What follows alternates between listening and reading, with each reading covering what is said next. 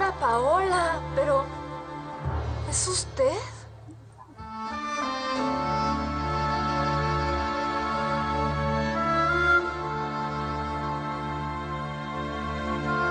Ojalá yo pudiera arreglar con dinero los problemas de los Bracho.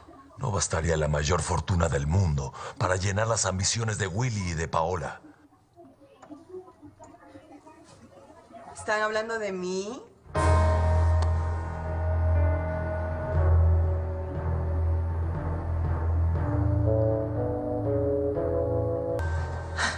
Caramba, qué frío recibimiento. ¿No se alegran de verme caminando? Claro que nos alegramos, Paola. Aunque yo no creo en los milagros. Ah, estás igual que Piedad. Pues mira, no te puedo decir más de lo que le dije a tu abuela. Hace tiempo que empecé a sentirme mejor, he tratado de caminar, la enfermera me ha dado terapia, las medicinas, mi esfuerzo. Y aquí tienes los resultados. Qué cínica eres. Eh, por favor, Rodrigo. Bueno, en realidad me importa poco si me creen o no que estaba enferma y me curé. Vine a darles una noticia.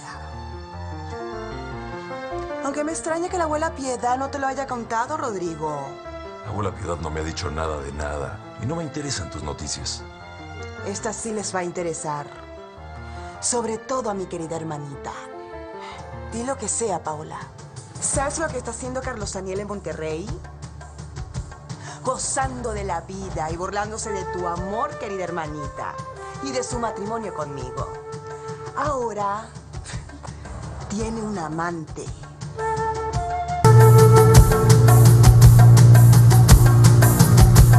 ¿No dices nada, Rodrigo? ¿Y tú, mi querida hermana gemela? Me alegra mucho saber que Carlos Daniel se siente feliz y contento. Mentirosa. Bueno, ya nos diste la noticia. ¿Qué más quieres decirnos?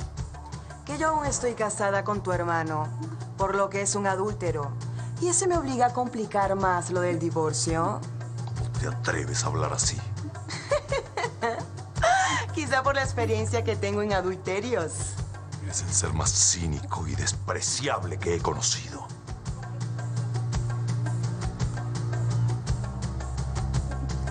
No los atormentes más.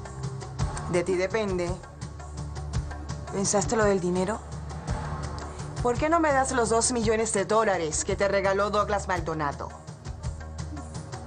Bien sabes que los dos millones es imposible. Entonces el millón. Te dije que... El millón o nada. 500 mil es lo máximo.